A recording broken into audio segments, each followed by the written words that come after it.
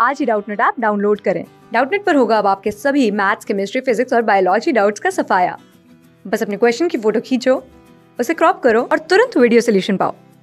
Download now. Hello students हमारा question है that human male never passes on the gene for hemophilia to his son. That means father से son में कभी भी haemophilia के jeans transfer नहीं होते।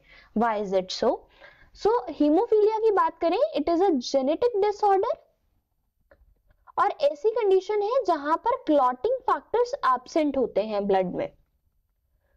Clotting factors are absent that means blood properly clot नहीं कर पाता। इसके फर्दर काफ़ी कॉन्सिक्वेंसेस हो सकते हैं बट हम उनमें बात ना करके ये देखेंगे कि ये होता कैसे है। This is a X link disorder और ये रिसेसिव कंडीशन में होता है।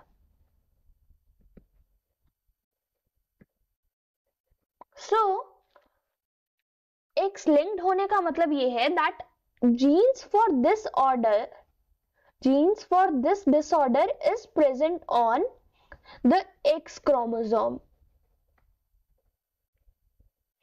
so अगर हम बात करें मेल जीन्स की so that will be X and Y और मेल ट्रांसफ़र करेगा सन को सिर्फ़ और सिर्फ़ Y chromosome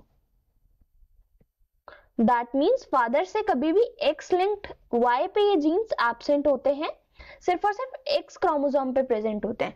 सो so, फादर जब भी ट्रांसफ़र करेगा अपने सन को that will be transferred as Y chromosome that's why ये कभी भी हीमोफीलिया के जीन्स फादर से नहीं जाएँगे.